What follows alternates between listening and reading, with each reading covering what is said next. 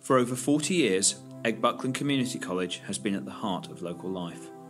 During that time, it has seen many thousands of students pass through its classrooms.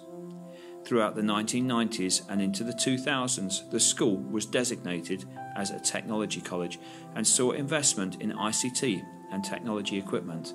Investment, the legacy of which our students still benefit from today.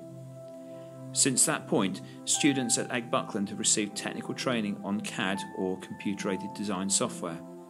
Over the years, this has progressed from the early days of TechSoft through ProDesktop and into powerful programs such as SolidWorks and Fusion. Students have also benefited from experiencing modern manufacturing techniques through CAM, that is, computer aided manufacture.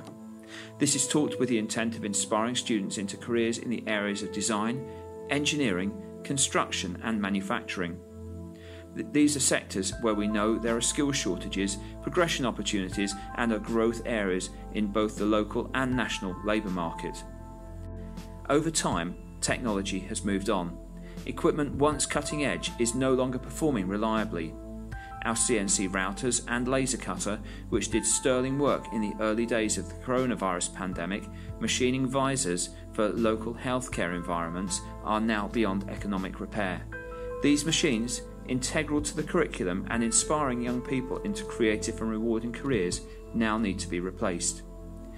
We are aiming to raise £50,000 from a combination of funds, donations, and sponsorship. This would be used to purchase a new state of the art laser cutter and large format CNC router. If you feel you could donate, please click on the link.